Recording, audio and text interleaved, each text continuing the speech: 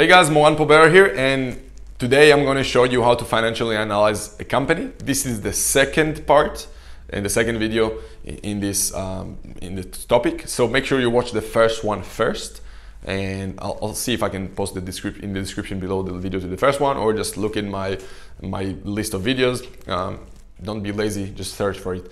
Um, so yeah, the, the, this is the video is all about the financially how to financially analyze a business that we're talking to remember i'm assuming that you're talking to business owners you're receiving financials and what do we need to look at the, how do we look at the numbers right now in order to make an offer on the business how much can we make an offer for etc etc um, really really really important that you watch the first video because I'm basically going to continue uh, from the first one. So make sure you go and watch the first one now and then continue with me in this one.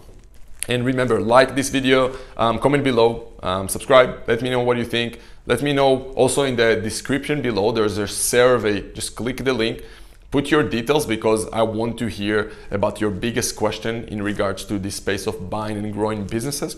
And I'll create personalized videos for you. I just need ideas for topics because I'm uploading literally daily now. So make sure you fill the survey below and I'll basically show you, uh, I'll create a video for you in the future. And also see in the description below, there's a link to a free mastermind on Facebook, all about just business buying. Um, very, very good people in there. Uh, click the link below for that as well. Okay, so I'm talking about business financials now, right? So we get the numbers. The first thing you want to look at is the business profit and basically understanding how much the profit the business is making. And I'm not talking about how much profit you think the business will make when you buy it. I'm talking how much it's making right now, or ideally pick an average of the last three years. So if it made um, X in the first year, you see what I mean, right? Take the last three years, take the three profit numbers and do some kind of an average. That would be the ideal number to work with and to start your calculations with. Um, and yeah, let's, let's continue from there. Now, as soon as you have your profit, or basically your pre-tax profit, your EBITDA, and again, you can work with different numbers. That's the numbers we decide to work with. Just the simple, simplest way to value your business, right? So as soon as you have that number, just pick a multiple of how much you're willing to offer for that business first.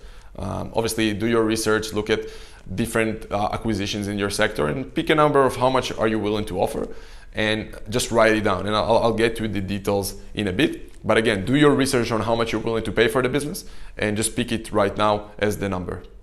Now, to that number, what you want to do is to add or deduct, uh, basically, to add assets or to deduct long-term liabilities. So if you have, let's say, an additional $1 million in cash in the business, you want to add that to your calculation. And same go for long-term debts deduct that from that number.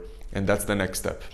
Now, the number that you have right now is basically the number that you believe the business is worth and the number that you are going or need to pay for the business based on the offer that you'll send in, right? So that's the number you have.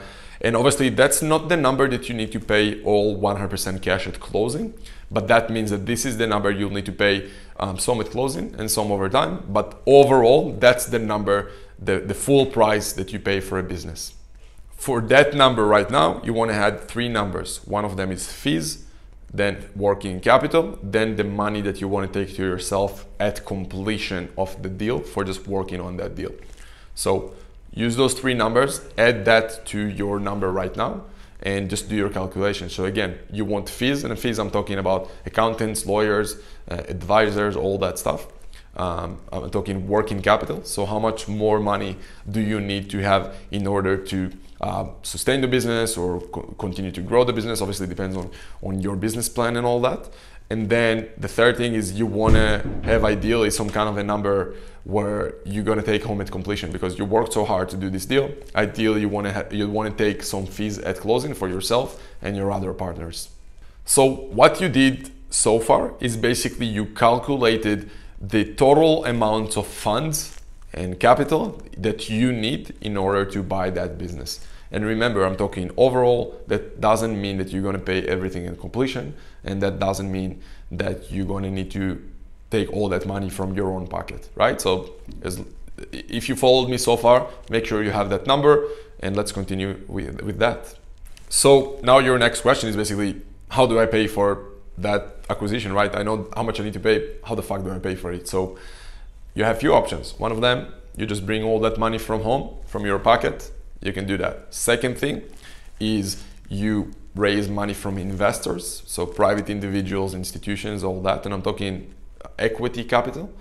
And the third way is debt. And debt can come from financial institutions by borrowing against the business assets, or it can comes from basically the owner um, borrowing, uh, I guess, some uh, part of the acquisition. So basically seller financing, right? So three ways to finance that deals. And, and let's even dive in even a, a bit more into that.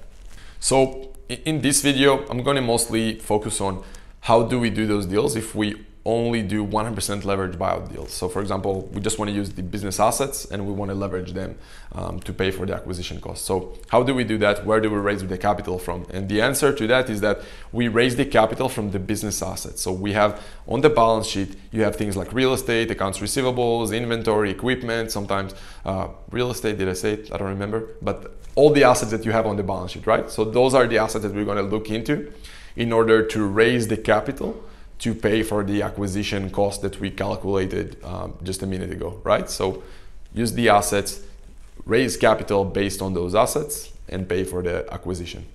So how that works? So let's say we have million dollar in assets. Um, let's say obviously depends on the type of assets. Let's assume that you can raise 50% on those assets, right? Let's say you have $1 million in assets and you can raise 500,000 um, from those assets.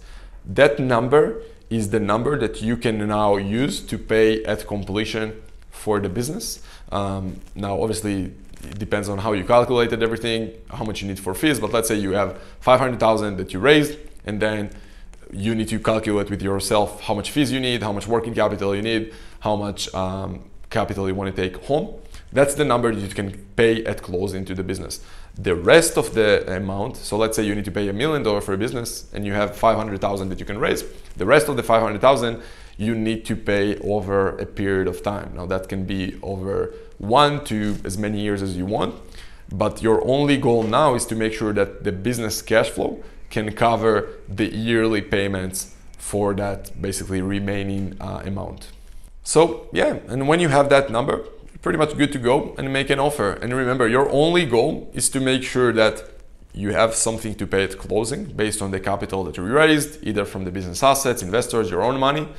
And the rest of it, you got to make sure that the business can cover and pay. Obviously, there are more involved in there to make sure that you have the right uh, ratios and making sure that you have enough capital to pay the debt and still have enough capital to sustain a business. So you need to, I guess, do more calculations there. But for now, I want to keep it simple and make sure you know how to look at basic numbers, how to make offers, and how to make sure that the business can cover the rest of the money that you couldn't raise.